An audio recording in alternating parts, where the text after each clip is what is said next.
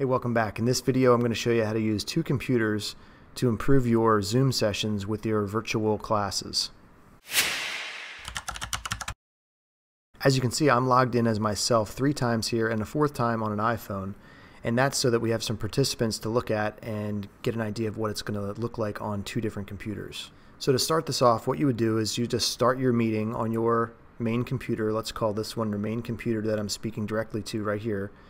And then on the left or right hand side, you're going to have your extra computer, which is going to serve as the computer that you're going to have all of your students show up in a grid view. So to get onto the meeting for that computer, you can just go onto zoom.us, join a meeting, and then you can put in your code. And if it, if it asks you to, you might have to put in your password. So at this point, let's just say you started your class and you have students coming in, you're letting them in from the waiting room, and now you're ready to start your class and you're going to share your screen. So you're going to go to your main computer, you're going to share your screen.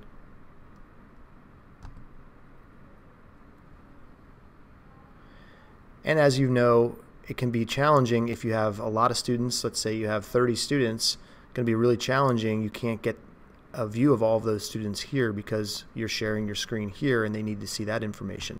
So from your point of view as a teacher, you're not going to be able to see all of your students because you only have that small strip of windows that you have room for on your screen. So this is where the second computer is going to help you do that. So on the second computer, I'm going to switch over here now to the, the second computer's view. So now I'm on my secondary computer over here on the left hand side and what I'm going to do on this computer, since I'm a participant in the meeting, I'm not the host, I can go up here to the top to view options. And what you want to do is click on view options, go down to side-by-side -side mode. Click that. Now I want to mention that you can't do this on a Chromebook. You're going to need to have some other device that has this capability, but I know it's not possible on a Chromebook. So now that you're in side-by-side -side mode, if you move your cursor over to the middle here, you'll notice that there's a gray bar that pops up. And for that gray bar, you want to click and hold here, and now you'll be able to move this around. And you can shrink this panel down to the left. You can shrink that shared screen all the way down like that. That's about as small as you can get it.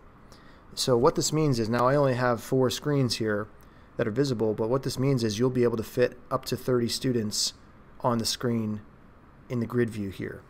So you could keep the secondary computer in the grid view like you're seeing here, and still on your main computer you'll be able to show the students what's happening in the shared screen going over the lesson materials.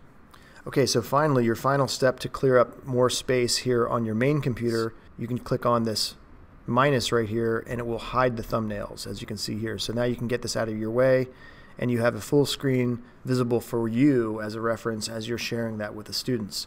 Now from the student point of view, remember they don't see this panel here with the different thumbnails that thumbnail view is not visible to them. If you put it in the middle of your screen, for example, they don't they don't see that at all.